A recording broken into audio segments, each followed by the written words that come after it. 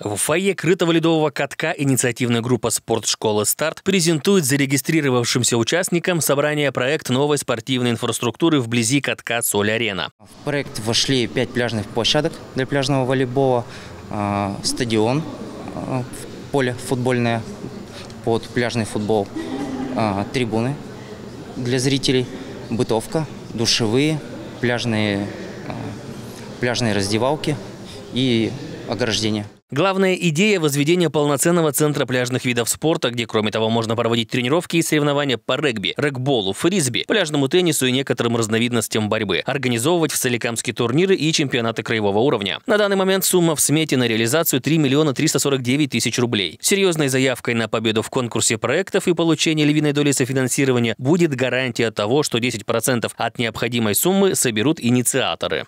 Давно у нас такой объект необходим. А, вот на 25 год у нас инициативная группа планирует зайти с этим проектом в, в, в проекты по инициативному бюджетированию.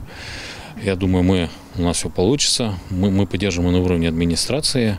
Я думаю, и Перский край нас тоже поддержит в этом проекте. Курирует конкурс проектов инициативного бюджетирования отдел по связям с общественностью Управления внутренней политики администрации Соликамска. Специалисты отдела готовы проконсультировать, как из идеи сделать проект и оформить заявку для участия, прием которых стартует 20 августа. Записаться на прием или задать вопросы можно по телефонам 5 12 42 и 7 05 04. Антон Старостин, Елена Трошкова, Сергей Сюзев, телекомпания Соль ТВ.